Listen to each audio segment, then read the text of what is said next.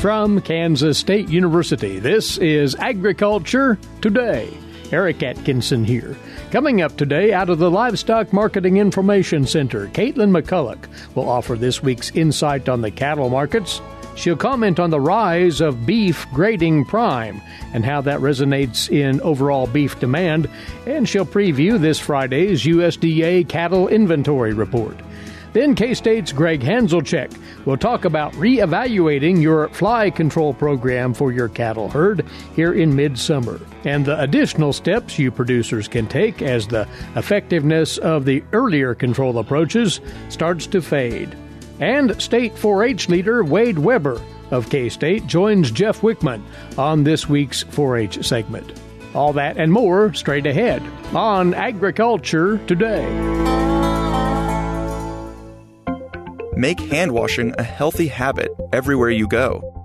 Wash your hands with soap and water for at least 20 seconds, especially after going to the bathroom, before, during, and after preparing food, and before eating.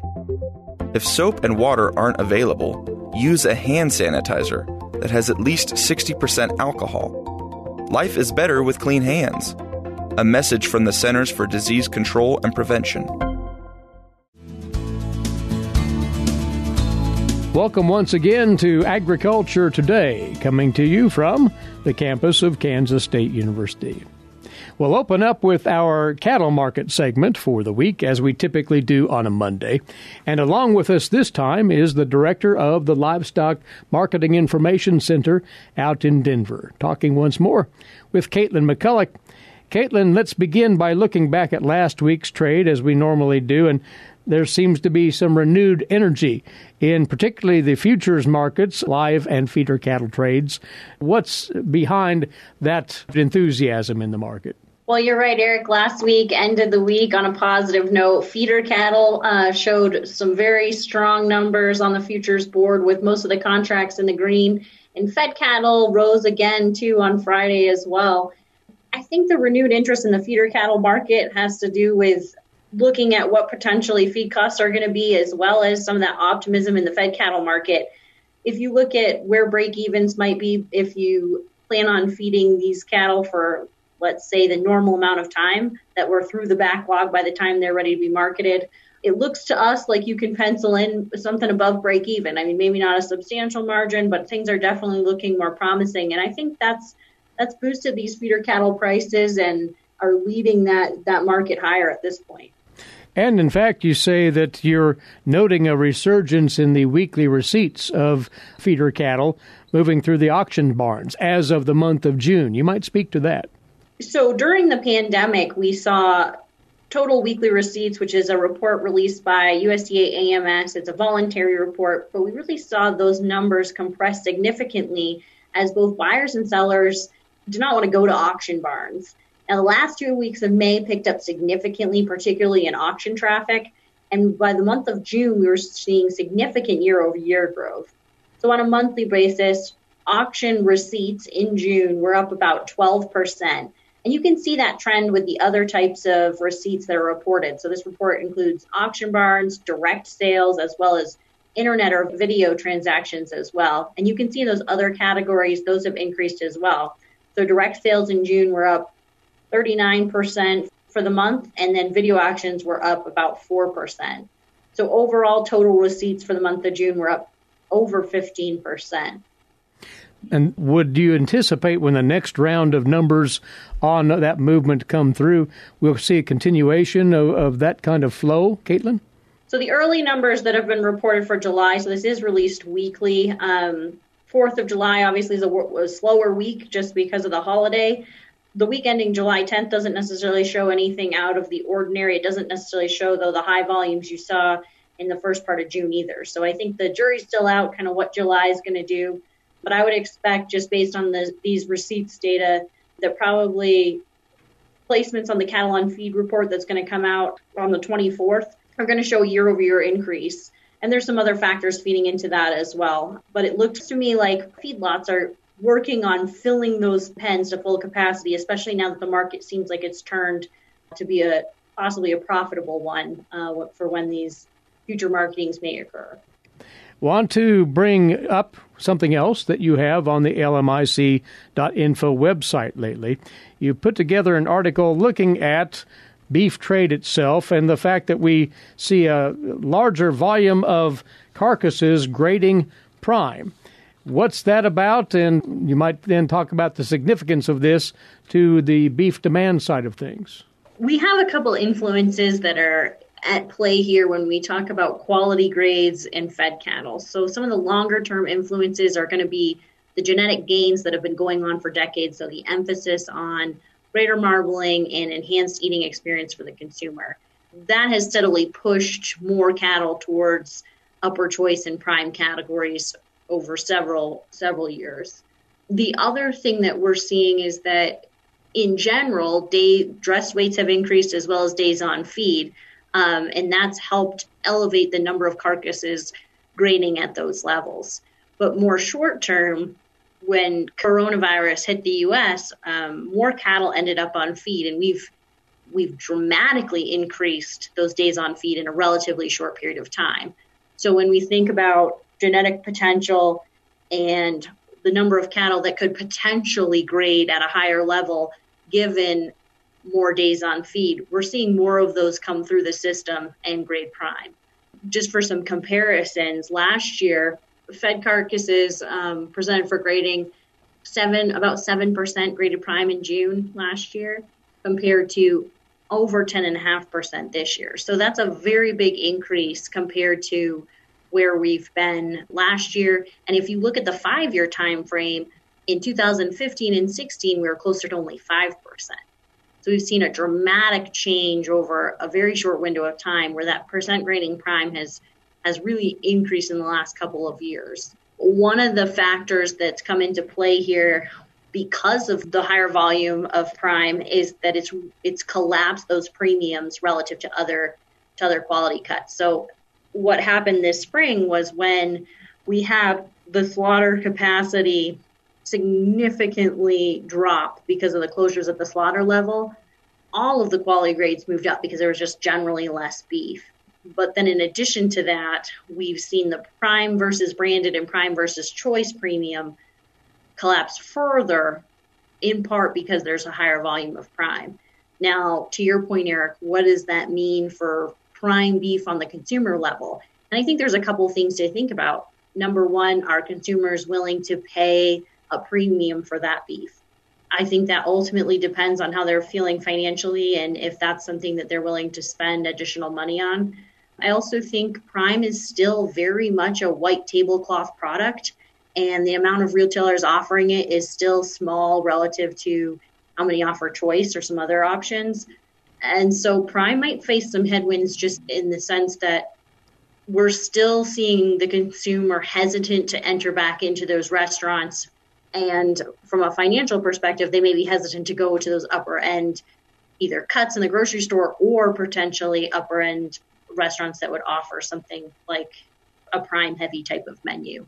And so those two are going to limit, those two factors are really going to limit any upward potential that prime premium relative to some of the other qualities, but also that additional supply, I think, is also a limiting factor. So you have supply and demand kind of working against that premium, especially when you talk about it relative to some of the other quality premiums. It's a very interesting facet of what's going on in the beef trade currently. Uh, by the way, you can read more about that at lmic.info. Well, we do have, as you said, a cattle on feed report coming out this coming Friday.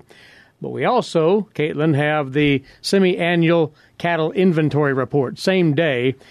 The one in January tends to get all the fanfare, but these mid year numbers uh, certainly lend a little more information to the markets as well. And LMIC has put out its projections for that inventory.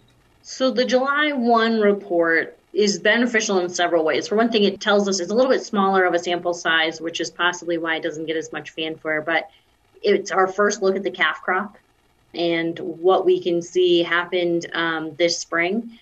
And it also gives us an idea of heifer retention on both the beef and dairy side. And so it's it's a critical report to to have before your January one uh, number next year.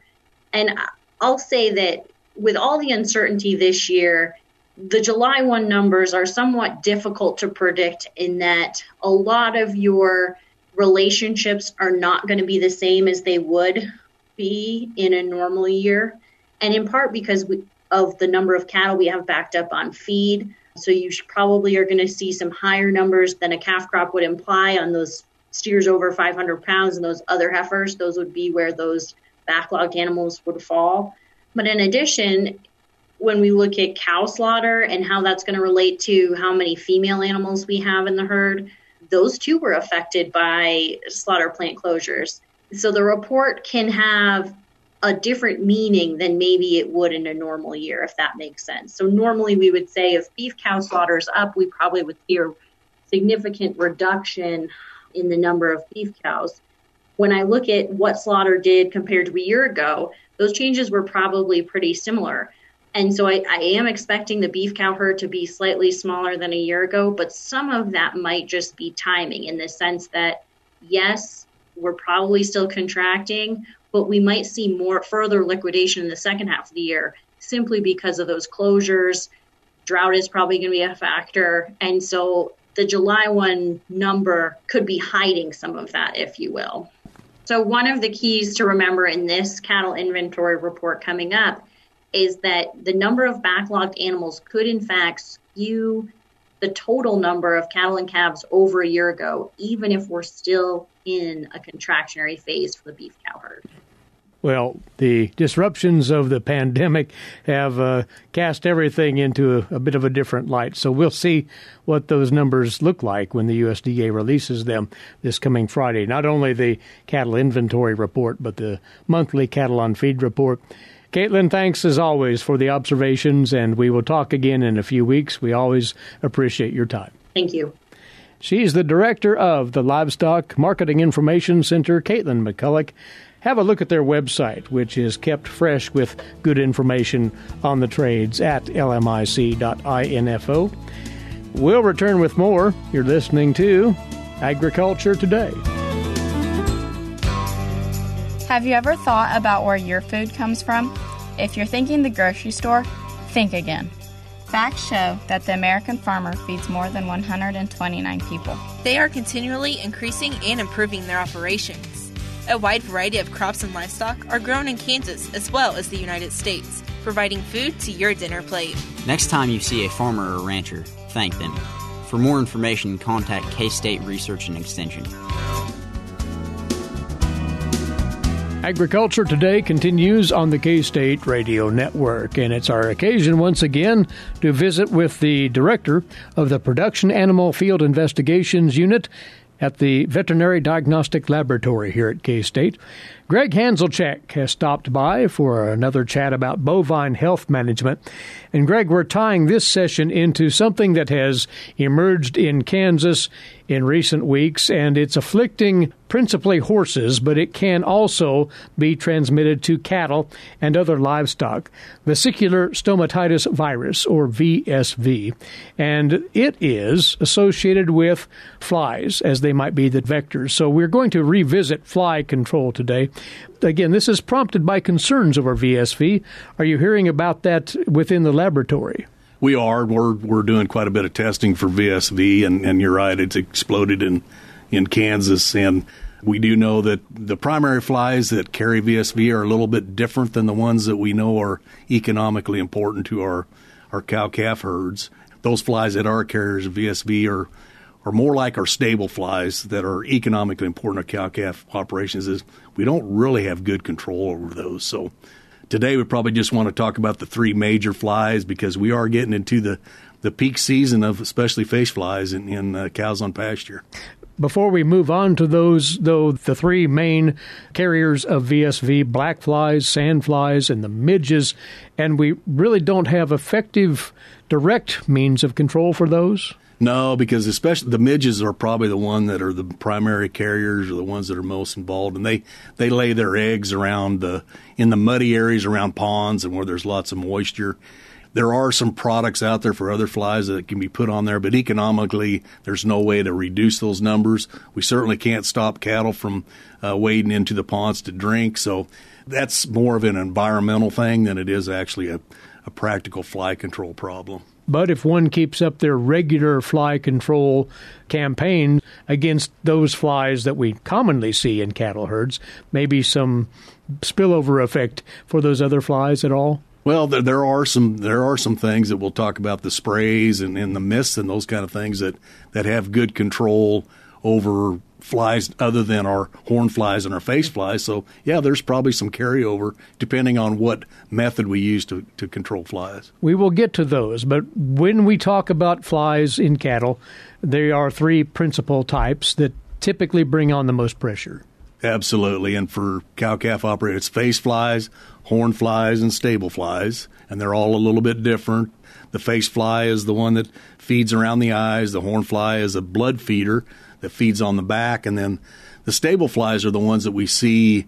They're primarily on the front legs of cattle and calves, and so when we see our our our herds in, in the corners during the day in the pasture season, and they're all they're kind of dancing. A lot of that is because those stable flies are taking blood meals off those front legs. So they're, they're three very important flies, but they're a little bit different in what they do and where they feed. Now, virtually all producers took measures before turnout onto pasture to protect their stock against these flies. And why we talk of it again today is some of those measures may be running out of steam, to put it that way. Absolutely. Uh, we, we promote the ear tags, insecticide ear tags are, are very, very effective, especially against uh, our horn flies, and they can be against our face flies. But they last about three to five weeks. So if we put those tags in those animals as we went to pasture, we're getting towards the the end of the life of those tags, and that helps explain why July and August are our peak months for face fly issues in pastures in cattle. The problem with retagging is, well, there may be many, but one of them would be it's not the most convenient thing to round up and go at it again. No, it's not, and there aren't there aren't many producers that are willing to do that, and we probably would only recommend that if there were some major major fly and or eye issues in the herd that, and we don't have any other way to control those flies. A, a retag might be necessary. Well, before we leave the subject of the tags, you say there's a new complementary product that can be used as an add on, if you will, to fly control via ear tags. Some sort of a strip that can be attached onto the back of the ear. Yes, there's a there's a couple ear tag companies, at least for a couple of their products, that uh, not only have an ear tag, but they have what's called a strip, and it it basically goes on the back side where the where the button is, in addition to the ear tag and some really good research out of uh, Nebraska has shown that the combination does a really good job 80 to 85%, if I remember the numbers correctly, uh, reduction in, in fly numbers, horn flies in particular, by using a combination of both the tag and the strip. So if you're having problems, that may be something to think about. So look into that option. But once again, retagging is a little lacking for practicality, so other methods of control should be considered, and dust bags are certainly one of those. Absolutely, and you know a lot of producers use dust bags. The the downside of dust bags are number one, the number of products that we have available to put in those uh, contraptions is is limited, and then to really get good control, meaning more than about 20, 25% reduction in fly time, we're going to have to figure out a way to force the animals to use those on a daily basis. So it's going to have to be some type of a lane to water or to feed or something to, to force them through those underneath those dust bags. And the same you say is true of using oilers. Oilers are the same way. Again, limited on the number of products we can put in there, and again, force make those animals use those oilers every day. The other thing I want to warn producers is the liquid that we put in there a lot of times is, is something like diesel, which is fine, but please do not use old motor oil because now we're running into other health issues that that could occur. There are some toxicity concerns with that waste oil, you say? There is. There can be some lead buildup in the oil, and we can have some some major major issues. So stay away from used motor oil if you're going to use the the back rubbers. That's an important point to know here. Other means various sprays that can be applied. Yes, there's uh, there's lots of products that we can spray. The limitation there is uh, how do we how do we do it in a pasture situation, which can be done. But the other thing is these products don't last very long, and some of them are labeled for every day, some of them every few days, certainly once a week. So it's more of a labor and practicality thing if we're talking about sprays. Pour-ons, same notation. Pour-ons are, are can be very effective, especially against horn flies. You remember, horn flies spend most of their time on the animal, so when we put that pour-on on, they're going to be exposed to that insecticide. So everybody knows we've got lots of products for that. They're going to last about three weeks duration, so uh, might get you through into the freezing time of the year. But they're they're good products out there for that. While we're thinking of alternatives here, might mention one more the the larvicidal products and those insect growth regulators. Those have uh, proven to be pretty effective over the years, but uh, the timing is the issue right now. You say absolutely. There's some some of those products are very very effective, but again they're they're labeled and, and the biology of them is that they should be started about 30 days before the fly season, and then we want to make sure that we continue uh, those products in the mineral all the way until we have a hard frost. The other thing is consumption. There's got to be continuous consumption, so we that's an issue with those products. Again, they're not they're not effective against stable flies. They they would be against horn and face, but it's probably not economically wise to start at this time of year putting those products in the mineral. Well, tell us more about something else that you say is catching on with cow-calf producers. Certain mist treatments. What are these about? Yeah, so uh, dairies and feedlots for a long time have uh, had these these misters, these blowers that they either put in side by sides or or pickups, and it just it's a fine mist that they blow on the animals. And there are more and more cow calf operators that are are having those uh, things installed in the back of their pickup. They drive out in the pasture when the animals are bunched up. Very effective, and they can be effective against the the stable flies, probably against the midges and the those other flies that we know carry VSV too. Again, the downside is they don't last very long, so it's it's going to have to be a frequent administration, but it may be something that producers think about in the future. One other option here we want to mention as we visit today, it's called the vet gun. And it's a treatment that's been tested out through university trials, likewise, you say. Yes, uh, Nebraska did the vet gun, and that's the CO2 charged gun that shoots like a paintball that's got insecticide in there. University of Nebraska did some really good research, and they showed that get up to 80, 85% reduction in the in the number of especially horn flies the first treatment and that that lasted about 4 weeks and then when they went back and re-administered that product, they got another three weeks uh, duration on it. So it can be effective, and it's uh, probably worthwhile using in some cases. So, some possibilities there, but the point, Gregg, is producers need to understand that it might be time to bolster their fly control one more time to get them through the balance of the grazing season because the fly pressure won't let up for a while.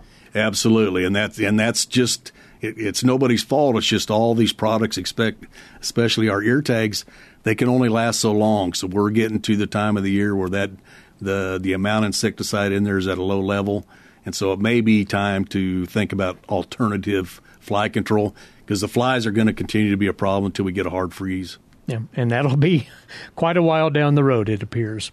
Timely information. Thanks for coming over and sharing it with us here, Gregg. Gregg Hanzlicek is from the Veterinary Diagnostic Laboratory at Kansas State University. We'll be back with more. This is Agriculture Today. What is radon? Home exposure to radon gas is the leading cause of lung cancer death in the United States for non smokers. In Kansas, one in four homes will test at or above the EPA action level. The Surgeon General recommends all homes be tested and fixed if necessary. Visit kansasradonprogram.org for more information. Test, fix, save a life. This message brought to you by the Kansas Radon Program, the Kansas Association of Broadcasters, and this station. This is the K State Radio Network, and you're listening to Agriculture Today. Eric Atkinson with you. And on we go now to today's agricultural news headlines. These courtesy in part of DTN. The Heritage Foundation think tank is urging lawmakers now to oppose the proposal to raise the spending limit for the Commodity Credit Corporation to $68 billion, up from the current $30 billion cap. That group is also taking aim at other provisions in the House passed relief bill that allow payments from CCC to be used for additional payments, including aid to agricultural processing plants to ensure supply chain continuity during an emergency period. The CCC borrowing increase is not included in the pending House passed COVID 19 relief package, which would only replenish CCC's borrowing authority to the $30 billion cap. Now, Heritage is arguing that expanding the CCC's spending authority would allow Congress to, quoting here, avoid making important choices, such as which agricultural commodities would be eligible for payments, which geographic regions would be covered, whether there should be payment limits, and about almost every detail of any future handout program. We may import more beef than we export this year, according to one USDA economist. More on that from the USDA's Gary Crawford. The U.S. is expected to rack up a huge trade surplus in red meats this year. USDA's latest forecast is for 10.4 billion pounds of exports, 4.1 billion pounds of imports, mainly because of surging pork shipments of more than 7.5 billion pounds. Projected imports only 851 million. For beef, though, looks like we'll import more than we export. Exports projected down slightly from last year to 2.9 billion pounds, imports rising to just over 3 billion.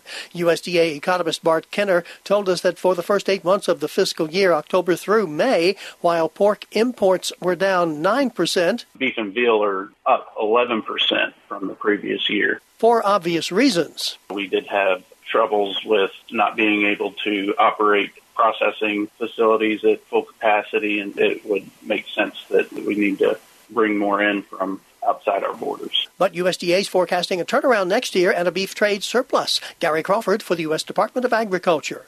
Now, as Gary said, the USDA is expecting pork exports to increase both this year and next year. Stephanie Ho takes a closer look at that. What did USDA's latest reports have to say about the meat trade? We are expecting to see a higher level of pork exports. That was USDA Chief Economist Rob Johansson. We know that African swine fever continues to decimate the uh, Asian pig herds, so there is quite a bit of demand for pork both in China as well as other Asian countries. So we've increased our 2020 export estimate by 325 million pounds to 7.5 billion pounds. And for next year, we're increasing also our 2021 export estimate by 350 million pounds to 7.65 billion pounds. That would be up 127 million pounds year to year. World Ag Outlook Board Chair Mark Jekanowski gives another reason for expected strong pork exports. That just uh, reflects strong demand from many countries and also the fact that our prices are pretty low, so that makes us pretty competitive. This is Stephanie Ho for the U.S. Department of Agriculture in Washington, D.C. Boston Market Corporation has filed a federal lawsuit now against a group of poultry companies, alleging the companies conspired to manipulate the price of broilers from 2008 to 2017, costing the restaurant chain hundreds of millions of dollars in overcharges. This lawsuit is in the U.S. District Court for the Northern District of Illinois in Rockford. It follows the June grand jury indictment in Denver of several executives of various poultry companies. Those executives were charged with conspiring to fix prices and rig bids for broiler chickens. Broilers, of course, raised for human consumption, sold to grocers and restaurants. This new lawsuit alleges the conspiracy included plaintiffs Tyson Foods, Pilgrim's Pride, Perdue Farms, Koch Foods, Foster Farms, and Claxton Poultry, among numerous others. The next hearing in the case is scheduled for August the 8th. Boston Market has asked for a jury trial. In its complaint, Boston Market alleges the companies conspired to restrain production, manipulate price indices, fix prices, and rig bids, the purpose and effect of which was to fix, raise, and stabilize and maintain prices of chicken meat throughout the United States, according to the complaint as it read. Boston Market said it contracted directly with the companies to purchase broilers, submitting bid requests from them to supply its restaurants across the country. They went on to say that as a result of the defendants' small bird price fixing and bid rigging conspiracy, as they put it, defendants were able to exact significant price increases from Boston Market and other restaurants. At the same time, wholesale prices of small bird broilers were decreasing, as the lawsuit alleges. The purchase orders for broilers supplied to Boston Market restaurants were issued from locations in a number of states, including Kansas and Nebraska. And your Farm Service Agency here in Kansas has been closely tracking drought conditions statewide in anticipation of providing needed assistance to you livestock producers impacted by drought. Ranchers and livestock operators in some counties may now have two different programs through which they can request assistance from the FSA the Livestock Forage Disaster Program, or LFP, and the Conservation Reserve Program Emergency Harvesting and Grazing. Now, under under the LFP, producers in several Kansas counties are eligible to apply for benefits on native and improved pasture land with permanent vegetative cover or certain crops planted specifically for grazing. The LFP provides compensation to eligible producers who suffer grazing losses for covered livestock due to the drought on privately owned or cash leased land or federally managed land. Eligible producers must complete the proper form and the required supporting documentation no later than next February for 2020 losses.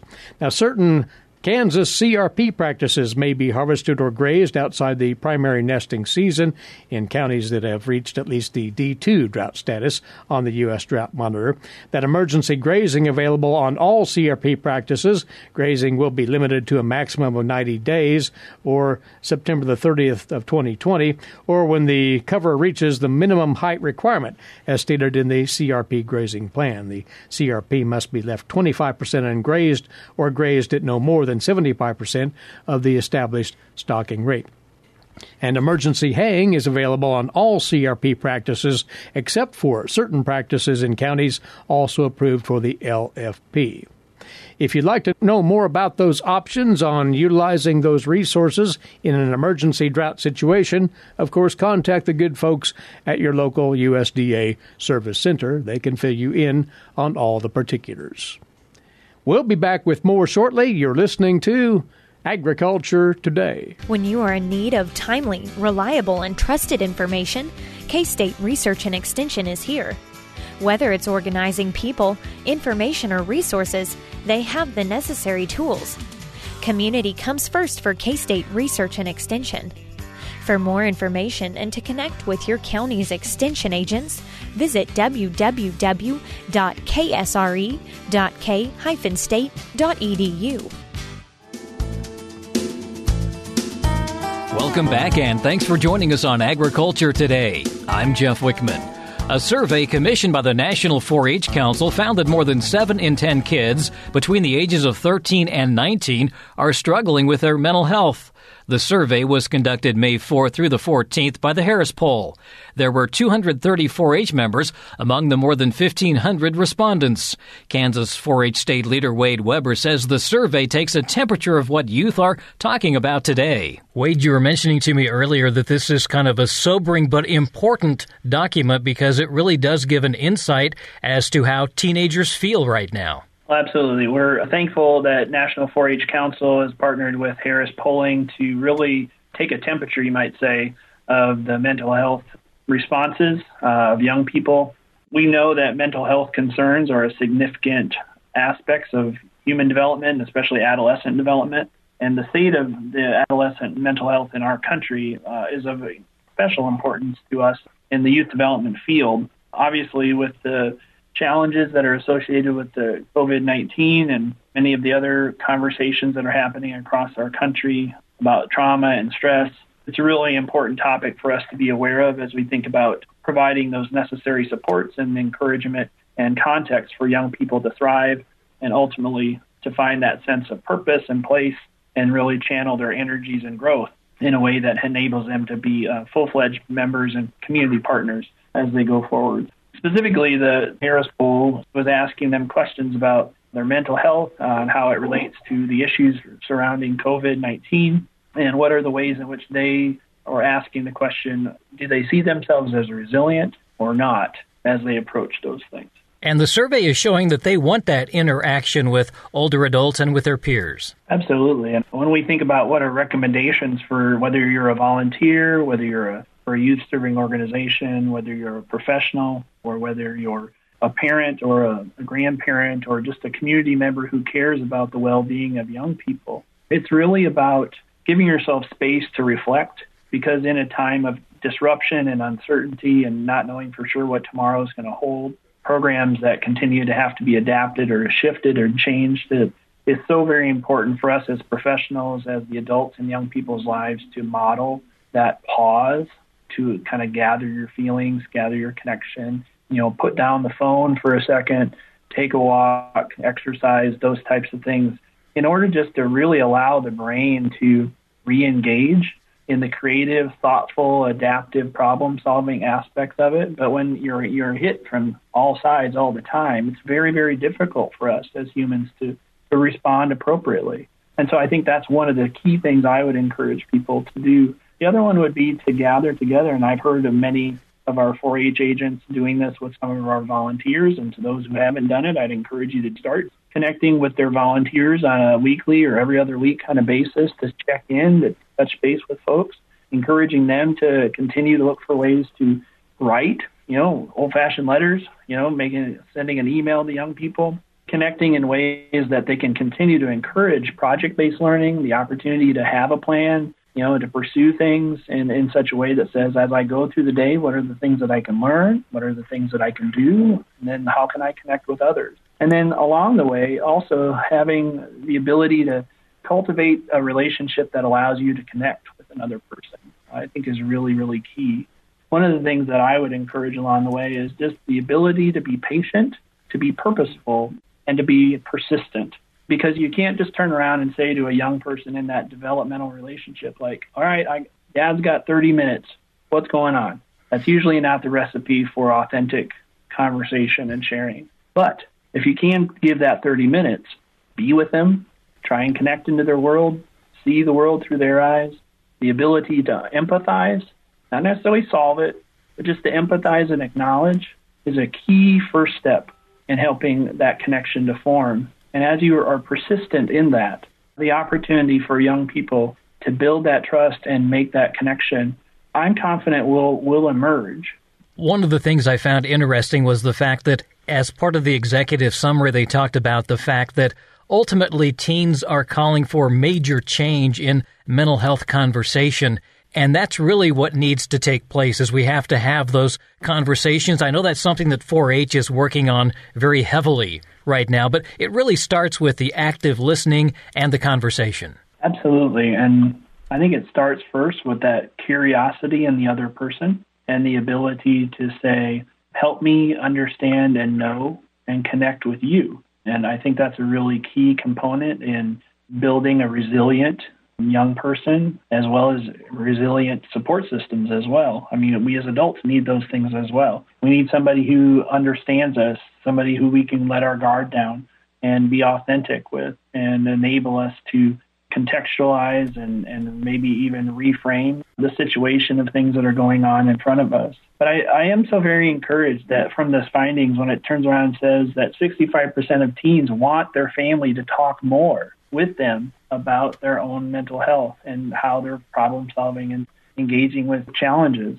That's the thing that I've been really encouraged by is that there is a demand. You know, young people want to talk more, to connect more. We still know that the significant influencers in young people's lives are the investment and modeling of a caring adult who's interested in them, who's interested in their well being and helping them continue to move forward, to grow and be successful and growing in responsibilities and seeing their work mean something. those are the types of things that um, we continue to pursue within the 4 H program as well as other youth serving organizations, ultimately to help young people build those skills that are going to help them for a lifetime. And in a lot of respects, I'm so very encouraged at the ways in which our young people are, are being adaptive, thinking of creative ways to pursue the same missional objective in creative ways in a lot of respects, this incubator that we're in right now here in 2020 is, is a great catalyst for young people. Build some skills that, quite frankly, generations before didn't have to deal with. to the same degree. And I've been so proud of those resilient teens who are continuing to be innovative, creative, and in some respects model to the adults what it means to be adaptive, to be creative, be intentional, to be with their peers as well as the other members of their community. And so there's a lot of great assets to continue to build upon and to champion as we go forward. And uh, what I think our study is really revealing is we've learned so much, and yet the opportunities continue to be in front of us to continue to expand that circle of resiliency to more and more young people to really equip them to have a, a great and healthy posture as they enter into these next days. That's Kansas 4 H State Leader Wade Weber with thoughts on the National 4 H Council survey on the state of teen mental health. The full report is online at 4h.org. And that'll do it for this edition of Agriculture Today. Along with Eric Atkinson, I'm Jeff Wichman. This is the K State Radio Network.